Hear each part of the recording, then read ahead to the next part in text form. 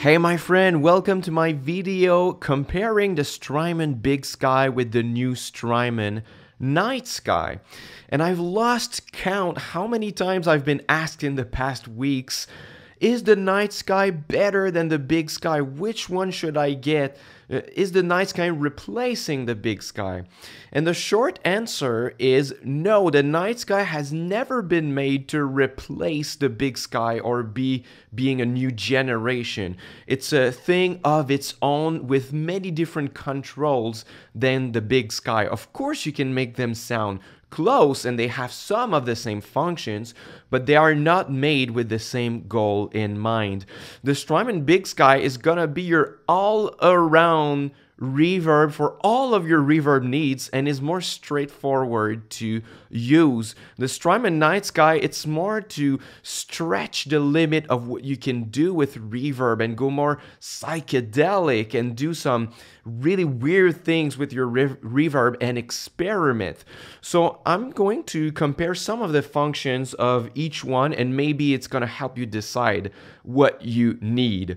So first of all, the Big Sky has 12 different types of reverb. I was playing with the cloud mode, but you have many other modes just like regular room,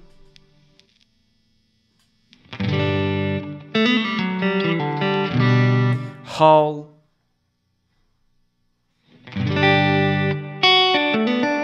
I won't go through all of them, but it has 12 different types of reverb, so you have more variety in here. Plus, you have bank A, B, and C, and you go from bank 0 to bank 99. So you basically have 300 presets that you can recall very easily on this pedal. If you look at the night sky, it doesn't have all of the reverb types to choose from. It's basically more of a plate style reverb. You can you could consider that the texture are the types, so you have the sparse, dense, and diffuse types. But that's it, you don't have that big choice like on the Big Sky here. It does have some presets, but you only have 16 of them compared to 300 here and it's not as easily accessible. It's the little buttons uh, that you probably have to use with your fingers to access. So the accessibility and choice of reverb types, it's really the big sky that is the winner here. But the big sky is more straightforward in the the um, the controls on it right? So you have a tone knob that it's that is singular. You have a modulation knob it's only one knob. You have a pre-delay. It's all the stuff that you want in a reverb pedal. But if you look at the night sky the mod section you have three different types of targets you can choose on it. You have six different types of shapes. So for example if i come back on my first sound here on the big sky, I just have this knob right here to control the modulation. So if I have none, it sounds like this.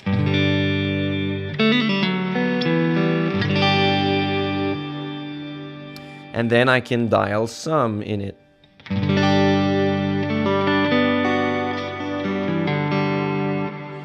And I could put way more if I want.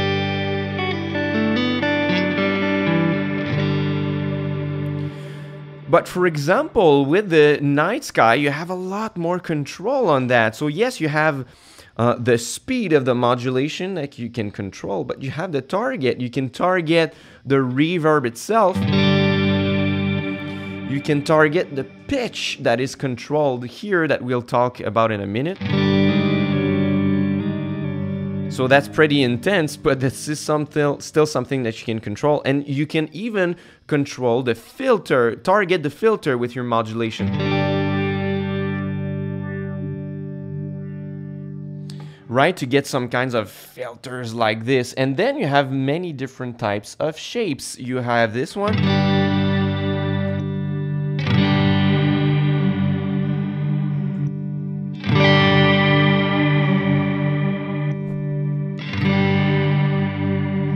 Have a random one.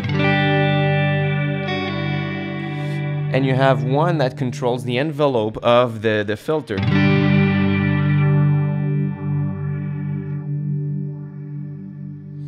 So you see, the goal of the night sky is to give you more control over all of the parameters so that you can really experiment and stretch the limits of your reverb. Sometimes that's going to sound weird, but that's kind of the goal with this pedal here. So for example, if you look at also the tone knob on the Big Sky, this is just one knob. Dark tone, bright tone. But it's one knob. If you look at the night sky, you have a low cut.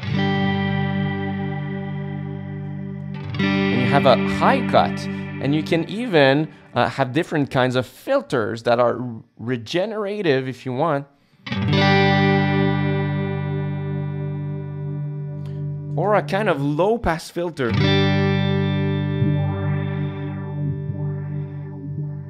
So you can get even in synth territories when you get combinations like this. So that's pretty much the point of the night sky to give you more options compared to more straightforward here. And uh, if we compare, for example, the shimmer on it, I would give it to the big sky. The big sky wins on it. If I change to the shimmer mode, then here I can control two different intervals if I want. And I have all intervals in there. I could have a minor second.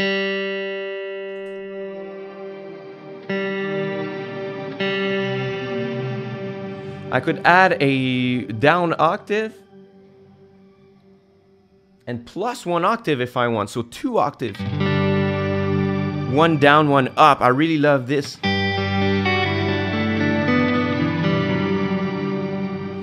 But on the night sky, you don't have all intervals. You have seconds, fourths, fifths, and octaves, and some detune too, but you don't have all of the intervals like this one, and you have just one nut too. And both can be by the input or regen too. So uh, by the input, for example, is just adding the shimmer to the input. But if you choose the regen, you will hear that's gonna gradually get brighter and higher as it regenerates into the reverb core.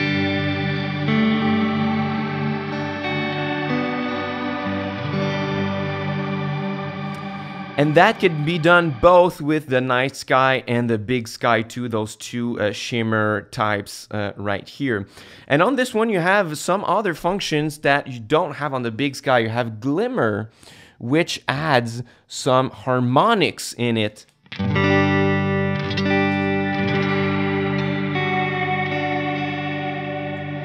On the highs or on the lows. So let's hear the difference here.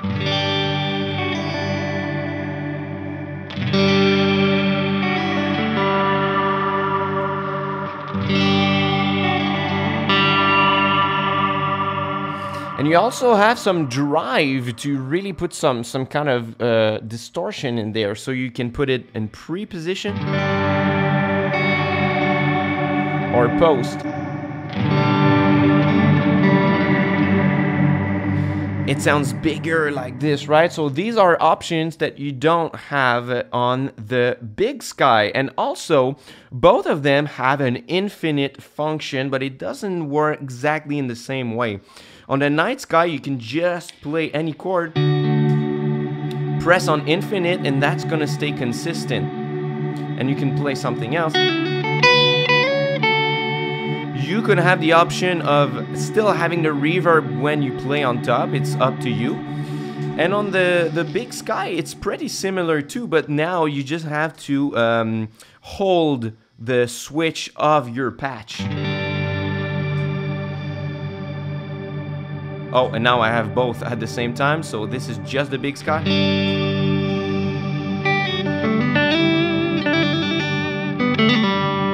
So, in my case, I like it more on the night sky because you don't have to keep your foot on it the whole time. But what's really cool with the night sky is that you can hold it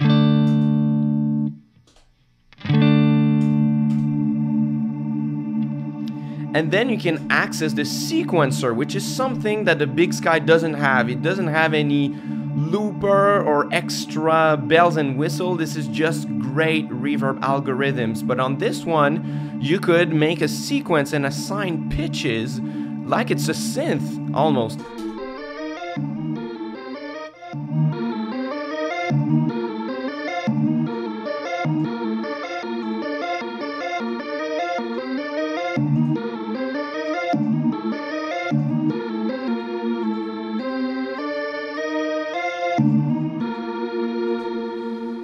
So that's something that the Big Sky does not have the sequencer. You could do so many great things with it and I made a complete video on the sequencer if you want to look at it on the Strymon Night Sky. So I think that the comparison here is not really fair because they're not made for the same thing. Here you have presets, you have more reverb types, you have straightforward controls, so it's all your reverb needs are covered with this pedal. But if you want to stretch it and go beyond, this allows for so many things. I find that on the Big Sky, it's just you twist the knobs and you find the sound that you want for your reverb. On this one, the, the knobs are interacting together more. So if I play something like this,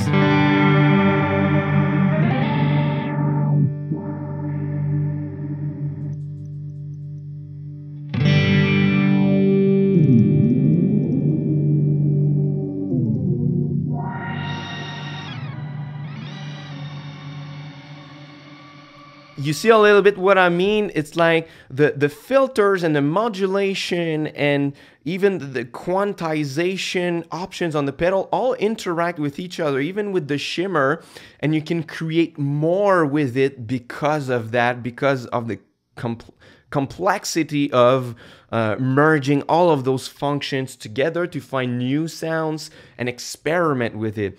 So, yes, the, the, the, the, long answer is that the night sky does not replace the big sky. It's something totally different. So if you just want beautiful reverb algorithms and a lot of flexibility and storage with your preset, go with the Strymon Big Sky. But if you like twisting knobs and being experimental and you, you want something more uh, psychedelic, go with the night sky and the sequencer on it. That is really, really cool.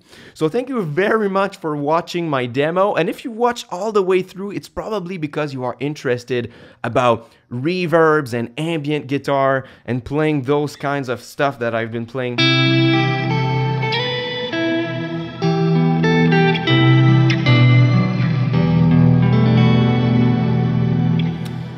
So if you like that stuff, I have a free course on ambient guitar chords. You could learn some chords that sound like this that will help you really play in that genre of music. If this is something you would like to learn, click on the first link in the description box and enroll in my free course titled Ambient Guitar Chord Structures. So that's it for today. Thank you for watching. Uh, enroll in my free course and until next time, au revoir.